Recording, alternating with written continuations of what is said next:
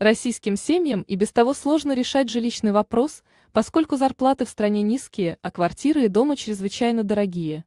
Приходится занимать деньги, брать целевые кредиты, жить у родителей или в общежитии, снимать квартиры и тратить на аренду значительную часть семейного бюджета. А с приближением появления на свет ребенка у супружеской пары появляется еще больше проблем, мать не работает и получает только пособие по беременности и родам, а будущий отец вынужден содержать семью и придумывать, где растить ребенка. Чтобы подобные вопросы не пугали молодые семьи и не препятствовали рождению детей, правительство РФ устанавливает различные льготы по ипотеке при рождении ребенка, призванные уменьшить и отсрочить платежи. Какие имеются льготы при рождении ребенка в 2020 году?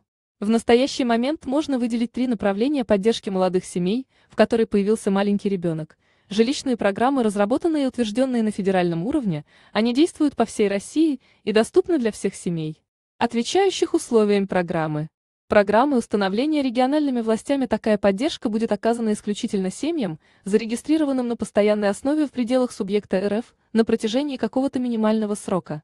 Программы, разработанные специалистами банковских учреждений, действующими только в отношении клиентов этого банка и призванные снизить расходы семей на обслуживание кредитных продуктов. Читайте также статью «Компенсация процентов по ипотеке». Льготы по ипотеке при рождении ребенка первого по счету.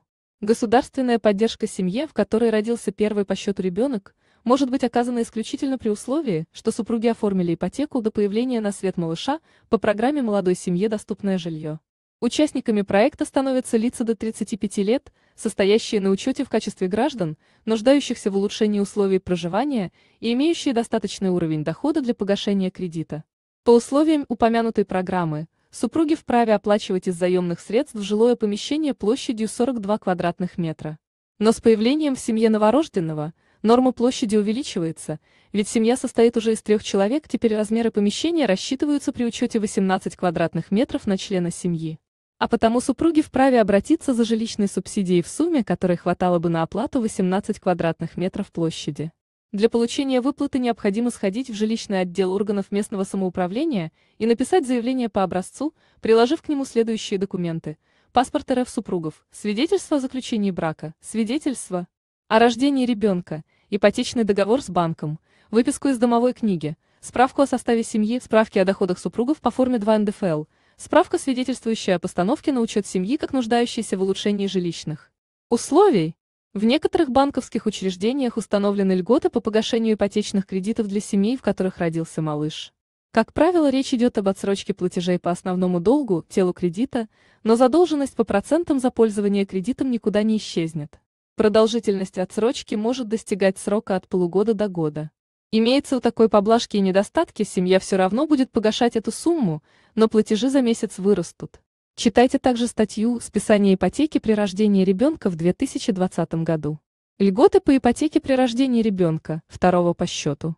Как известно, при появлении в семье второго малыша мать ребенка получает право на оформление сертификата на материнский семейный капитал. Потратить средства разрешено на определенные цели, одна из которых погашение жилищного кредита. При этом ждать положенные в иных случаях три года с даты рождения малыша не нужно погасить кредит можно сразу после оформления сертификата.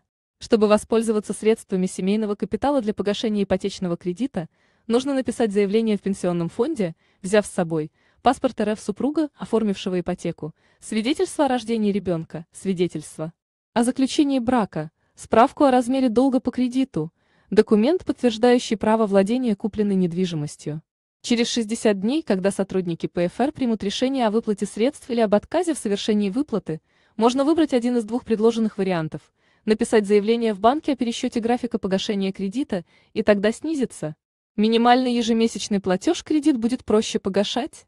Погасить часть кредита, оставив без изменений график платежей, будет укорочен общий срок выплаты кредита, а значит снизится переплата, как при досрочном погашении. В том случае, если супруги пока не брали ипотечный кредит, средства сертификата можно потратить на оплату первоначального взноса по ипотеке. Но в таком случае воспользоваться деньгами можно спустя три года после дня рождения ребенка. Читайте также статью «Помощь валютным ипотечникам в 2020 году». Льготы по ипотеке при рождении ребенка, третьего по счету или любого из последующих. Когда в семье рождается третий ребенок, она приобретает статус многодетной и получает право на ряд льгот. К примеру, на земельный участок от 6 до 15 соток или компенсация за него. Региональные власти вправе также утвердить определенную помощь с приобретением жилья. В каких-то регионах за рождение третьего малыша семье полагается региональный материнский капитал, порой довольно большой. Где-то семье выплачивается субсидия на постройку дома. Уточнять детали необходимо в местной администрации или в органах социальной защиты населения. Законодательные акты по теме. Федеральный закон от 11 ноября 2003 года номер 138 о поддержке многодетных семей типичные ошибки. Ошибка. Семья, получившая статус многодетной, обращается в органы самоуправления Новосибирской области для оформления жилищной субсидии на постройку индивидуального жилого дома. Комментарий. Прием документов на получение данной выплаты был прекращен, теперь деньги выплачиваются только по ранее поданным заявлениям. Ошибка. Семья, проживающая в Ханты-Мансийском АО, претендует на получение выплаты в размере 2 миллионов рублей на погашение ипотеки после рождения ребенка, тогда как оба супруга не трудоустроены. Комментарий. На данную льготу могут рассчитывать исключительно работники агропромышленного комплекса и бюджетных организаций. Ответы на распространенные вопросы про льготы по ипотеке при рождении ребенка. Вопрос номер один. Полагаются ли какие-либо льготы по ипотеке при рождении ребенка в семье, зарегистрированной в Москве? Ответ – да, семье назначаются ежемесячные выплаты – способные покрыть до 75% регулярного платежи по ипотеке. Вопрос номер два. Можно ли получить какие-либо льготы по ипотеке при рождении ребенка в семье, прописанной на территории Новосибирской области? Ответ – да, многодетной семье в ИНО полагается единовременная выплата в сумме 1 миллиона рублей. И потратить ее разрешено на погашение ипотеки. Видеосоветы. Какие льготы по ипотеке для молодых семей и после рождения ребенка? В видео раскрывается информация о льготах по ипотеке для молодых семей после рождения ребенка, какие обстоятельства необходимы для претендования на льготы. Спонсор этого видео – Центр юридической помощи «Бастион», бесплатные юридические консультации круглосуточно. Телефон Центра 8 800 555 67 55, добавочный номер 769. Адрес сайта указан в описании под видео. Ставьте лайки, если вам понравился этот выпуск. Подписывайтесь на канал. Поделитесь в соцсетях. Всем пока!